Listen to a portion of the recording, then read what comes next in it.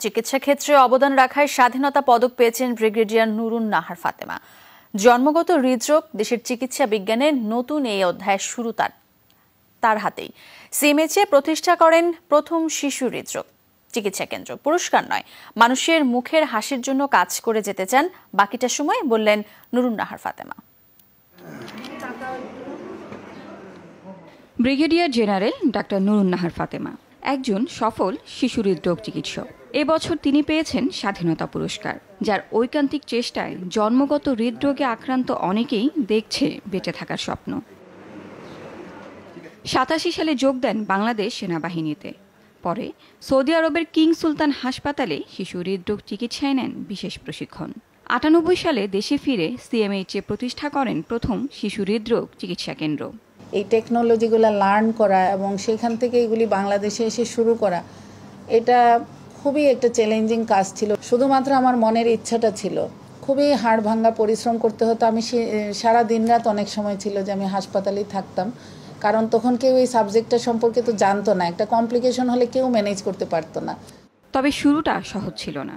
জন্মগত হৃদরোগ। এই শব্দটির সাথে পরিচিত ছিল না কেউই। তাই দেশি রোগীদের আস্থা অর্জনটাই ছিল বড় চ্যালেঞ্জ। পেপারগুলো প্রেজেন্ট করার মাধ্যমে কিন্তু সবার মধ্যে সচেতনতা তৈরি হয়েছে এবং আমি যখন দেখাতাম যে এই ডিভাইসগুলো করছে হার্টের ছিদ্র, এখন তো আমাদের মাত্র পাঁচ দশ মিনিটে হয়ে যায়।